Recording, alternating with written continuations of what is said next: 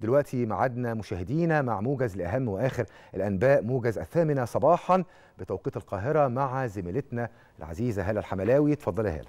شكرا محمد. الثامنة صباحا بتوقيت القاهرة الخامسة بتوقيت جرينتش موجز الأخبار من التلفزيون المصري. أهلا بكم.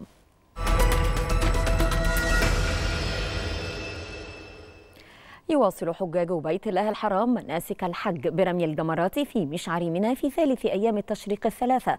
وكان حجاج بيت الله الحرام من المتعجلين قد أدوا طوافي الإفاضة والوداع بعد أن رموا جمرات اليوم الثاني مبتدئين بالجمرة الصغرى فالوسطى ثم جمرة العقبة.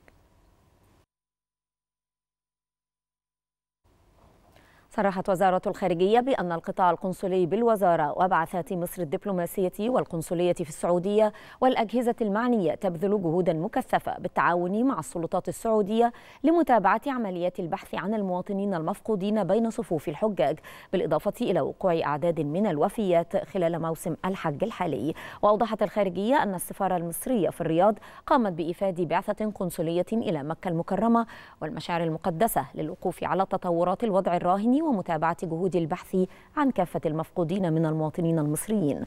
كما يتم اتخاذ كافة الإجراءات الخاصة بنقل جثامين المواطنين الذين وافتهم المنية ويرغب ذووهم في إعادة جثامينهم إلى أرض الوطن.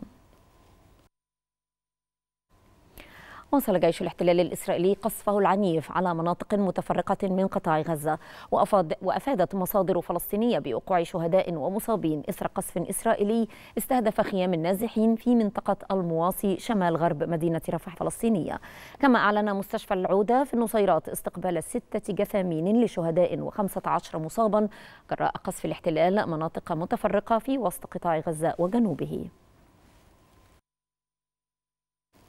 أعلن جيش الاحتلال الإسرائيلي الموافقة على خطط عملياتية لهجوم في لبنان. وقال جيش الاحتلال في بيان إن كبار المسؤولين العسكريين الإسرائيليين أجروا تقييما مشتركا للوضع في القيادة الشمالية. وتمت المصادقة وإقرار خطط عملياتية لهجوم في لبنان. وأضاف البيان أنه تم اتخاذ قرارات بخصوص مواصلة تسريع استعدادات القوات في الميدان.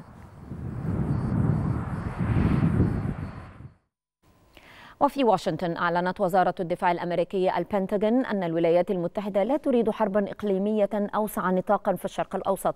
وقال باتريك رايدر المتحدث باسم البنتاغون إن أولوية الإدارة الأمريكية هي التوصل لحل دبلوماسي يؤدي إلى خفض التصعيد على الحدود مع لبنان.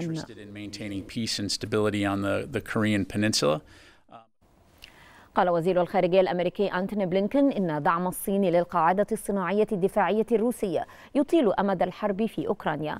وشدد بلينكن في مؤتمر صحفي مع الأمين العام لحلف شمال الأطلسي ناتو يانس ستولتنبرغ على ضرورة وقف الصين الدعم الحاسم لروسيا والإبقاء على آلة الحرب المستمرة. صدق الرئيس الروسي فلاديمير بوتين على مسودة اتفاقية للشراكة الاستراتيجية الشاملة مع كوريا الشمالية التي سيتم التوقيع عليها في لقائه مع الزعيم الكوري الشمالي كيم جونغ أون.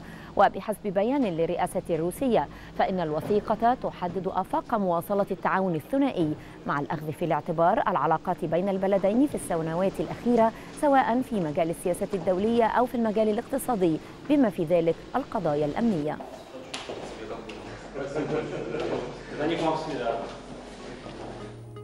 انتهى موجز الثامنة وعودة لاستكمال باقي فقرات برنامج صباح الخير يا مصر بعد الفاصل.